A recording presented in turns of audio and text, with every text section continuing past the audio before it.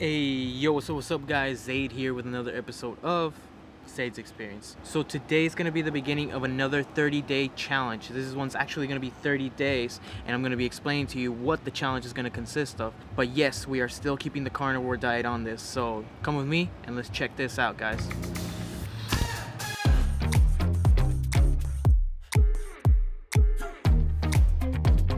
So what is this new diet that I've been alluding to? Well, it's not really new. It's called intermittent fasting. I'm pretty sure you guys have heard about it all over the media, all over the news. A lot of people have used it and with great success. I have used intermittent fasting in the past and I haven't had all that of a great results, but I have had some results with it. And I was doing back then what is called a 16 to 8 which is basically you fast for 16 hours and for 8 hours that is your feeding window. And so what I'm going to be doing is I'm going to be using intermittent fasting along with the carnivore diet. That's right, this is where the carnivore diet comes into play into all of this. So what I'm going to be doing is I'm going to be using the combination of the carnivore diet with intermittent fasting to see how that combo works and if it does work at all. I'm also going to be using it along with something called time restricted feeding. One of the leading scientists behind this is Dr. Satchin Panda and he comes in in several interviews. They're all over the YouTube, um, especially one very famous one with Dr. Rhonda Patrick and if you guys haven't checked that out or if you guys don't know about it, I'm to link it up here. That way you guys can go ahead and check it out and I'll also leave it down there in the description. That way you guys can go ahead and check that video out. It's super informative but um, with the fear of kind of dumbing this down too much is basically the idea of restricting yourself to eating during a certain period of the day for a consistent period of time. And that basically starts to implement a circadian rhythm within your body which allows it to know when to expect food as opposed to just maybe opening your intermittent fasting window from 8 in the morning today to like 2 p.m. in the afternoon and that'll be your window today and then like three four days you switch it up to maybe four to I don't know seven or something like that because your schedule wouldn't allow it so what this basically makes you do is basically set it up all the time to kind of be around the same time that way your body knows when to expect food a good example is let's say you want to eat start eating every day at one o'clock and every day that's when you start your feeding window and then when you end your feeding window let's say around five o'clock then that is your feeding window every single day and you get used to it and after a while your body starts acclimatizing to it and kind of like starts to get the hang of it.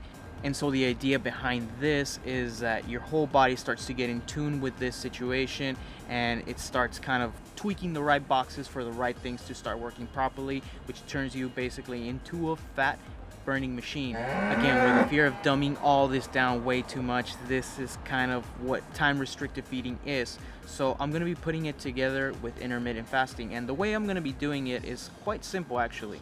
What I'm gonna be doing is I'm gonna be feeding on a window of four hours, which I know is pretty restrictive in comparison to most people. Most people like to do a 16 to 8, an 18 to 6, or a 20 to 4, or some people I know even do 22 to 2, which is um, a little bit too extreme at this point for me, but I'm gonna be starting it off with a 20 to 4. So I'm gonna be fasting for 20 hours during the day, and I'm gonna be eating, having a feeding window of four hours only. This feeding window is gonna happen from two o'clock to around six. That's gonna be the cutoff time. And the reason for this is that way I can eat with my girlfriend, that way I can wait for her. And during the day when I'm most busy, I don't have to worry about eating. I don't have to worry about all this meal prepping or anything like that. And I can go about my day doing my business. And some way during the middle when I get a little bit of downtime, which is usually that two to six kind of downtime, that's when I'll get my meals in and that's when I'll have a little bit more time to prepare them and actually enjoy preparing them as opposed to being super rushed and getting some food in or something like that. Now, as I've mentioned to you guys, I tried intermittent fasting before, but when I tried intermittent fasting, I never really tried it with the carnivore diet. This was way before I even tried my carnivore diet. So once I learned about the carnivore diet, I thought for a quick second, what if I tried intermittent fasting with the carnivore diet? Would, would that actually make a huge difference? And and I gave it a shot for two to three days and I saw some amazing results actually. I think that's those are the biggest fat loss results that I've ever seen since I started doing any kind of diet or trying any type of different protocol. And so I never really stuck with it because at that point I was barely trying out the carnivore diet and I was super skeptical back then. But now I've I think I've, I've given this carnivore diet a fair amount of time. I've given it um, two shots at least for 90 days which is a lot more than what most people do and I know some of you super carnivores out there awesome you guys have chosen this as a lifestyle that's props to you it's it's definitely not not as easy as people think. People think it's it's it's a super dumbed down version that some people are like just lazy and like yeah you're just eating meat and you want to take the, the the the work out of it of actually cooking some good meals and stuff. No, it can actually be really hard and if not I think it can actually be a little bit harder knowing what nutrients are actually going into your body and how much of them you are actually getting.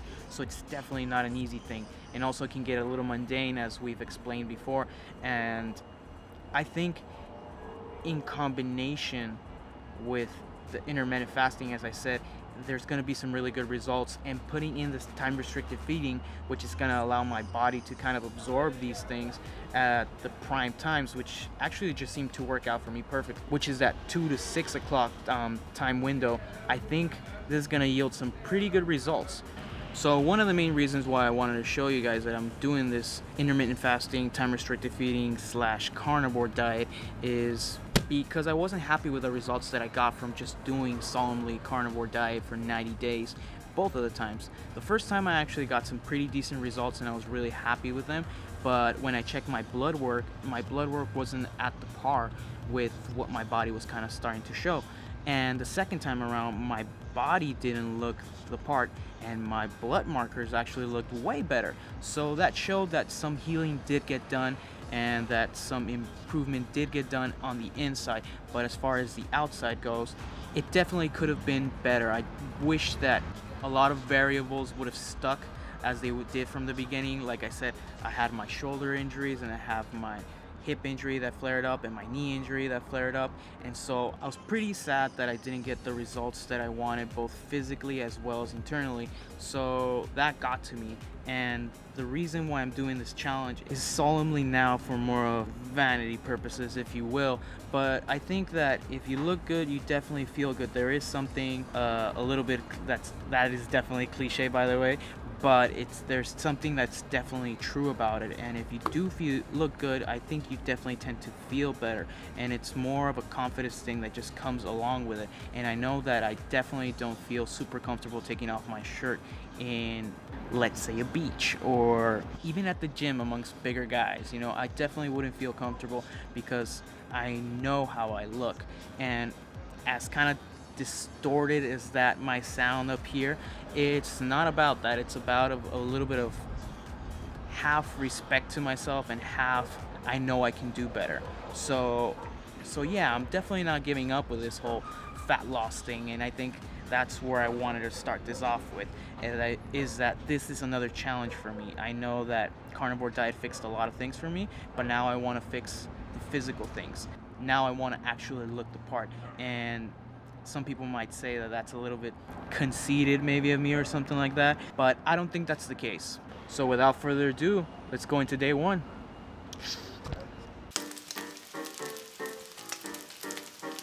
So it is around 12 o'clock right now and I'm about to have my first meal of the day. This is the first time I've been doing intermittent fasting for a while and I think it's gonna yield some really great results guys.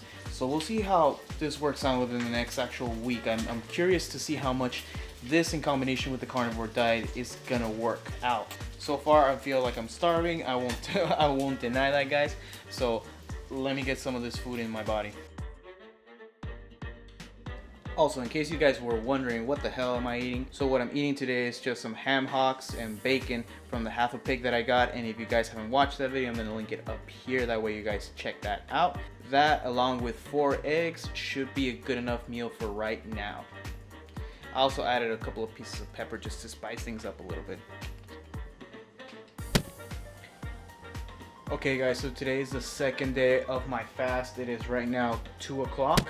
So I'm gonna start to break the fast as of right now. What I'm gonna be breaking the fast with is gonna be this kind of like soup that I made, which is basically, it has some meat and some of the sausage that we also made from that same porks. And it's all made with like bone broth. So it's all in like this kind of soup form. So that's what we're gonna have for lunch. And I'm gonna be eating another meal shortly after, depending on how I feel. But I'm gonna wait for my girlfriend. This is gonna be kind of a smaller meal and then we'll take it from there. We'll see how that works for as of right now. So for all of those of you guys who are wondering, yes, this is day four of the intermittent fasting slash carnivore challenge. Today's a little bit of a of a different day because finally for the first time I felt that cognition benefit slash function starting to pop up a little bit more in my head. And what I mean by this is if you guys have tried any type of prolonged fasting such as like a 24 hour fast or even a 48 hour fast you guys know that there is a really weird focus. Usually after the 24th hour that's when it kind of starts happening to me or after one day of fasting where you get hyper focused and hyper aware of everything well that sensation has been sticking around with me a lot more now that I'm eating a lot less. And I am also feeling a lot more relaxed which is kind of weird. Even though I'm eating a lot less I feel a lot better. And I'm finally starting to feel like today was the first day where I didn't feel as hungry as the other days. Because let's face it I know a lot of people say oh I don't get hungry during those times. Yeah well you've probably gotten used to it.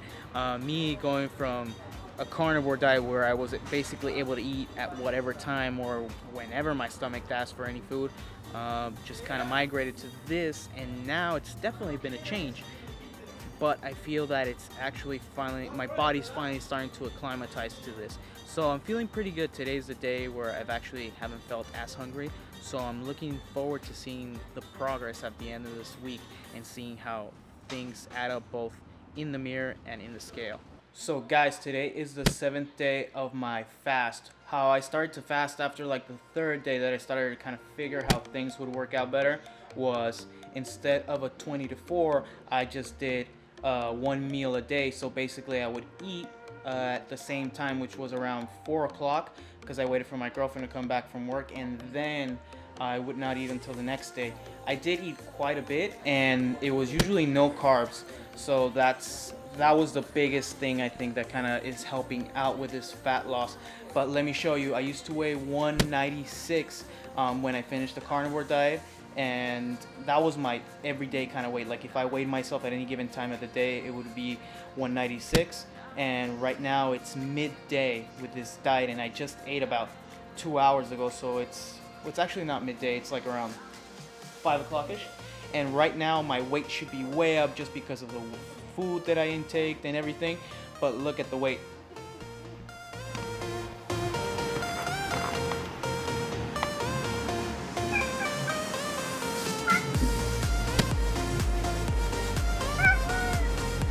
So that is exactly 10 pounds as of today, guys. That is the most amount of weight I have ever lost in any diet while still keeping a good amount of muscle. So now let me show you how all that looks. And I haven't worked out at all. I think today was the first day that I kind of moved around.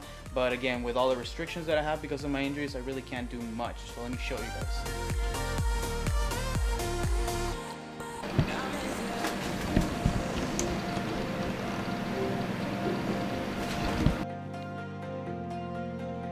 So as you guys can see, it is quite a bit, there's quite a bit of a difference on this. Even this part here started to go down considerably. And as you guys can see, I haven't lost much muscle at all. I know a lot of people are super worried when they're fasting that they're going to lose an insane amount of muscle. I still have quite a bit left over. I mean, I don't think that's one of my preoccupations right now. So good amount of muscle still remains. A good amount of fat has been shed off. That's 10 pounds, whether it was water weight, fat, it doesn't really matter. The weight is coming off, guys super happy with that. So as I mentioned guys, super stoked with the first seven days. So I'm super actually excited to see what the next seven days is gonna do. If it's another 10 pounds, it's actually gonna be a really drastic transformation for just 14 days. And if I go all 30 days, which I'm pretty sure I'm gonna, it'll be super interesting to see the overall results. So I'll keep you guys posted on this. So what do you guys think? So far the progress has been really good within this past week and I'm really really surprised as to where this is going and it's only been one week and I took off exactly where I left off with the carnivore diet. I, as soon as I saw that scale and as, as soon as I saw the results, I definitely realized that I wasn't where I wanted to be and that this challenge had to take place. I, I had to start this challenge. So hopefully you guys start to see that this is actually yielding some pretty awesome results and hopefully you guys keep on following me throughout these next 30 days. But in any case, guys, thanks for joining me in another episode of Zaid's Experience. If you guys like this video, please push that subscribe button, push that like button, and push that notification bell if you guys haven't already done so. That way you guys get notified every time I come up with a video such as this. This is the first video on 30 days of intermittent fasting slash time restricted feeding slash carnivore diet and I think it's yielding some awesome results so definitely stick around to see the results guys. But in any case, guys, they out. Peace. Dude, you really have issues in life, right? Really, peace out. No, you're supposed to say peace out. No, no, gotta, gotta. Ah.